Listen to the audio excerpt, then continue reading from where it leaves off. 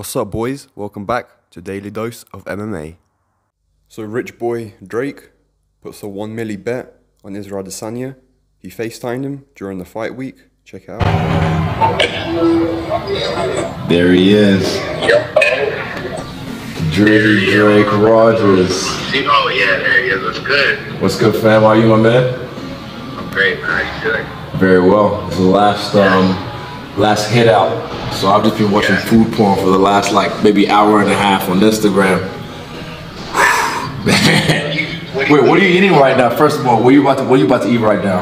Oh, I'm, I'm at Sotto Sotto's, the best restaurant in Toronto. First of all, you have to come to Toronto after this is done. Like today too, I played ball today too, so I'm Yeah? about to, I'm about to go crazy. yeah. Get some calories in there. Yeah, I'm, I'm depleted in calories right now. So this last hit out, weigh in tomorrow, and I go chop life. I go chop life, man.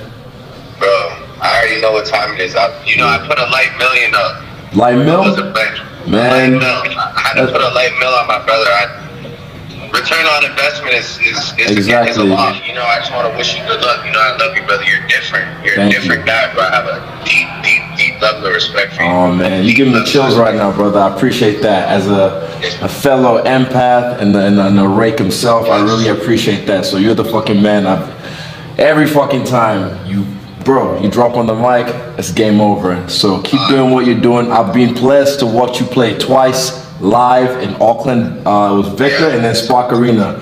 Eventually, you're gonna watch me live soon. Eventually, you're gonna watch me live soon. For sure. That's that's a guarantee. I got listen. Good luck, yeah. brother. I'll, I'll, I'll hit you after the fight. Thank you. Oh wait, one more thing. Yeah, Honestly, never mind. exactly. See you, fam.